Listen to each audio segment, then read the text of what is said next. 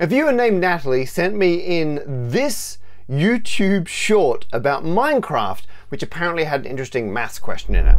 It starts showing a player trapped on a platform in the air, and the only thing they have to escape with are some oak planks. How on earth are they going to get out of this situation? So what do they have to do? It's super easy. Just make a boat, which is what they did. And what? Why did they die? It turns out in Minecraft, if you fall in a boat, you don't sustain any damage except at a few very specific weird heights. Unless you fall from 12, 13, 49, 51, 111, 114, 202, 310, or 315 blocks. Because for some reason from these heights, your boat breaks and you die. I have no idea why. And I have no idea why either. So I don't play Minecraft and don't panic if you don't. You just need to know that you can mine and collect resources, build things, and if you build a boat, it should protect you from falling, but something weird is happening and it involves some numbers. But what is it about these numbers which mean if you fall from those specific heights and only those heights, suddenly the protective effect of the boat sinks. I did all my usual approaches to work this out. I had a look on the online encyclopedia of integer sequences and nope, nothing. Googled them, nothing. I spoke to my friend Oliver Dunk, who helped on my previous Minecraft video many years ago about the Dream speedrunning controversy, and Ollie managed to find a bug report. Boats crash slash break and can kill their passengers when falling from certain distances.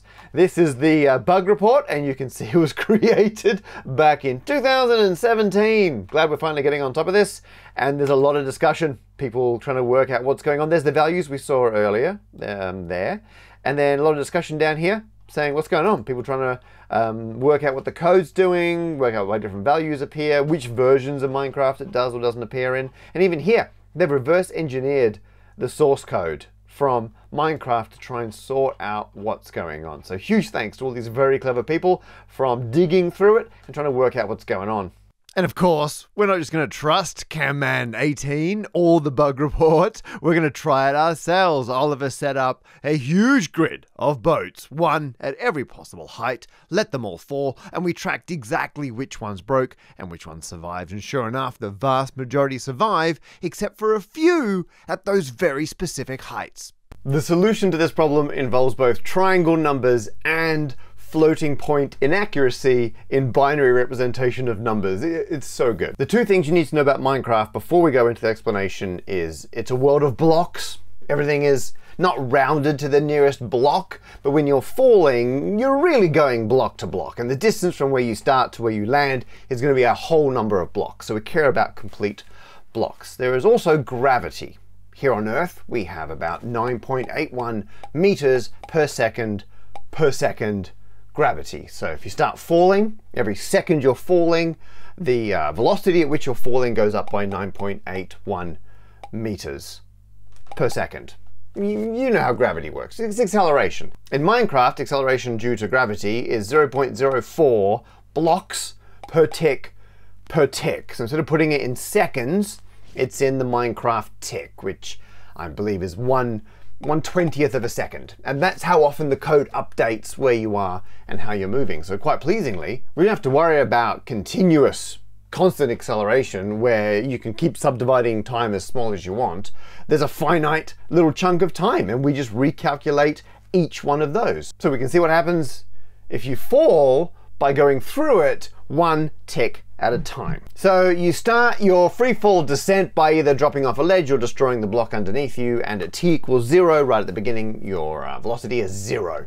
One tick later, your velocity would be 0.04 blocks. Now, the actual what the time is, I don't know how the code deals with when it updates your velocity based on the acceleration, and actually the exact times are irrelevant, so don't panic too much about those. The point is, after one tick later, you've now fallen 0.04 blocks. But it's a tick later, so now your velocity is 0.08 blocks per tick. So after the next tick, you go an extra 0.08, but now your velocity is 0.12. So after the next tick, you do the extra 0.12. Now your velocity is 0.14. You get the idea, and then you go that far down. So the total distance you've traveled is 0.04 in the first tick, 0.08 in the second tick. So they're all multiples of 0.04. It's one of them, and then you add on two of them, and you add on three of them, you add on four of them all the way down. And that's your equation for how far you're falling. And we can rearrange that in a nice neat form. It's just one plus two plus three plus four,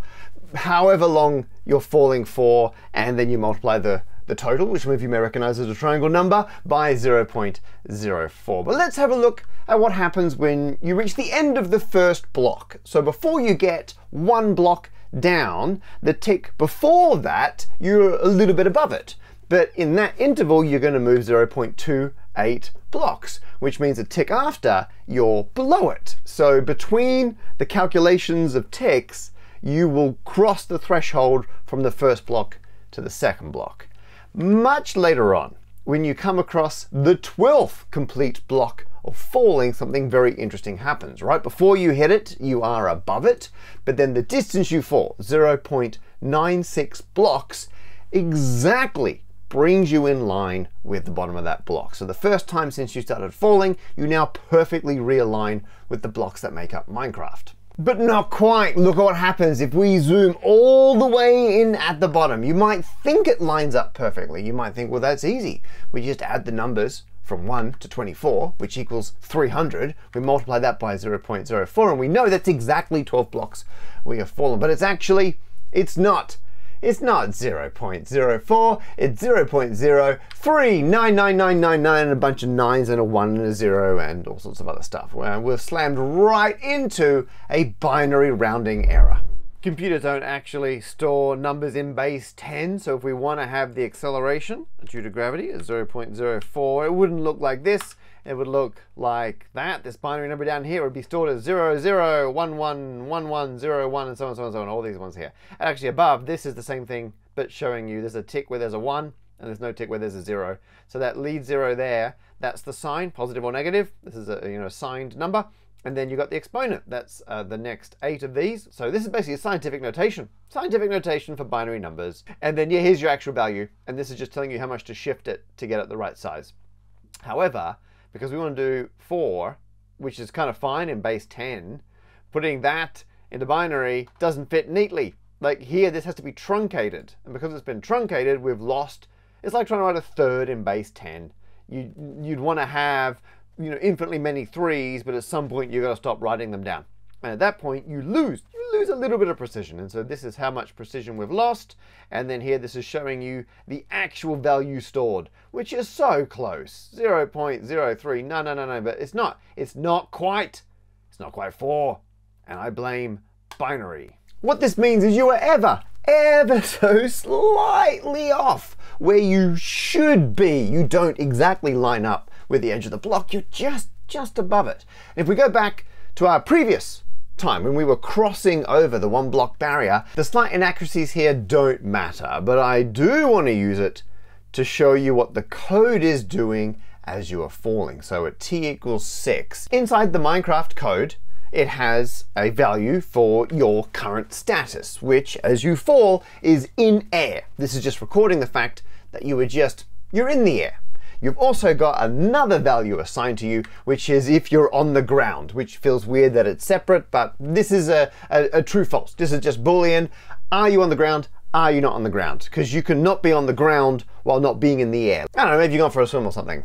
I don't know. I don't play Minecraft. A lot of you do. Uh, put it in the comments. How can you not be on the ground, but also not be in the air? I'm sure it's a situation that happens a lot. And now Imagine instead of passing through the block that you started falling one block from the ground. So you can't, you're not going to go all the way down there for t equals 7. You're going to slam into the ground. Now the code, when you hit the ground, the first thing it does is update your on ground value to be true. You've now smacked into the ground. That causes another bit of the code to kick in, which is the check fall damage code. It's going to work out how damaged the boat and you should be because of the fall. Except, before it does that, it has a look at your status. And if your status still says in air, it knows that this fall damage is of a result from falling, which I know sounds repetitive, but this is what the code does. And it then doesn't apply the damage. So if you were like falling or somehow getting damaged but you were already on the ground, you would receive the damage. But because in knows it hasn't updated your status yet, because it says in air, it's like, oh, that's fine. No damage for you. You were in a boat. Well done.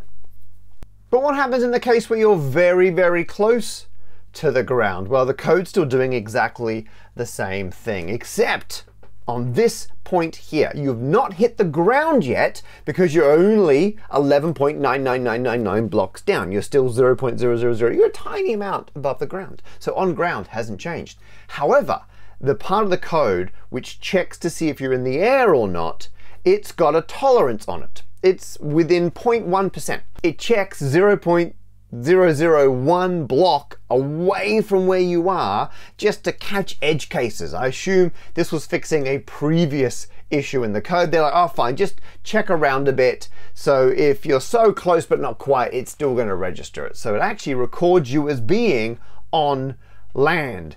Now you slam into the ground. Now on ground is true. It enacts the check fall damage that has a look to see if you were previously in the air, but you're not because the previous tick, even though you hadn't hit the ground yet, it had still recorded you as being on land. So it assumes the damage you're receiving is not because of a fall, it's for some other reason, and you're not protected against that, and that's why the boat and you get damaged. It doesn't realize you're falling because one tick, the smallest quantum of time in Minecraft, you were not quite on the ground, so on ground was still false, but you were close enough to the ground that your status switched to being on land. Now it's time to work out where those numbers were coming from. We saw before that it's 1 plus 2 plus 3 plus 4 all the way up. Times 0.04, that gives us the distance you're falling. If this is all the way up to some number n, we can replace all of this with the equation for a triangle number, which is n times n plus 1, all divided by 2. And that times our 0.04 has to equal, I don't know, some whole number k to get that alignment. We need the 0.04 to become a whole number, which means the triangle number has to have a factor of 25, which is to say, actually, if we were to simplify this down, we could remove it on that side. It's 25 times some constant, because 25 times 0.04 is 1. So, how do we know when our triangle number here is a multiple of 25? Well, triangle numbers, as you can see at the top, are some number n times one more than that number, n plus 1. Actually, which is why triangle numbers are always whole numbers despite being divided by this 2 here. Because if you've got two consecutive numbers, one of them is a multiple of 2. So n times n plus 1 is always an even number. We need this whole number to have, well, a prime factor 5 and another prime factor 5. So there's a 25 in there somewhere. Famously, multiples of 5 are at least 5 apart, so we can't have like n can't be one multiple of 5 and n plus 1 another multiple of 5. One of them has to be a full on multiple of 25, and actually it can be n or it could be n plus 1 in this equation. Time for a worked example. So let's take, well, let's take 25. Why not? It's one above 24. The triangle number of 25 times 24 divided by 2 is 300, which if you divide that by our 25, that equals the 12 block drop that we saw at the beginning. But the next number up is 26. And the triangle number you get from 25 times 26 divided by 2 is 325, also divisible by 25. That gives you a drop of 13, the next number on the list. And the next multiple of 25 is 50. That works. The triangle number between 49 and 50 is 1225. That gives us a fall of 49 blocks. And 50 to 51, 1275, gives us 51. The equation in general is you've got 25, some multiple of it, you then multiply it by the number either above or below it, because both work. You divide that by 2 to get the triangle number, and then you divide that triangle number by 25 to get the number of blocks you're going to fall. And this equation perfectly generates and explains all the numbers we saw in the original short. Oh yeah, and we could cancel these. Fun side point, of course I made a spreadsheet to double check my formula definitely worked and check that it would generate all the values we saw in the short, and sure enough it does, except this one here, which was missing. This one wasn't in the original short for some reason. When it comes to this pair, they've only got 202. There you go. Oh, and yes, of course, you can extend this for bigger values, but this is the ones that we see in the game. One last footnote I had to mention before the boats were empty in Ollie's simulation because he noticed if you've got a player in the boats, it slightly changes the behavior and it doesn't break falling from some level. Something to do with how the game is processing whether or not it counts as a vehicle, but we decided that was one step too far for now. That's it, and that perfectly gives us that list of numbers we saw in the original short. There you have it. That's how floating point errors and triangle numbers solved a mystery in Minecraft. I'm so pleased with how this went. Huge thanks to Natalie for sending that in. And if any other viewers see interesting mathematics in the wild, please do let me know. Thanks to Cam Man 18, I assume that's how it's pronounced, for making the short in the first place and bringing it to our attention. And thank you uh, to all the people who got to the bottom of this. Oliver Dunk for giving me a hand uh, sorting it out, and everyone on the bug report trying to reverse engineer the code and do it. I will link to all these things below if you want to check them out for yourself. And thanks to my Patreon supporters, who mean when I discover some breaking Minecraft news from 2017. I can, within the decade, I can I can leap to it. I only found out about this last week, so thanks to my Patreon supporters. Uh, they mean that I can drop what I'm doing and put together a video like this whenever I come across a really interesting bit of, uh, in this case, programming and, and, and, computer science combined with mathematics and, and counting. And uh, hopefully, if you watch this because you're into Minecraft, you've now also realized that as well as enjoying playing Minecraft, you can enjoy doing some recreational mathematics. Uh, please subscribe. Uh, plenty more where that came from. Probably start with the dream. The dream video is probably the video for you if you're here for Minecraft reasons. For everyone else, I don't know, watch it again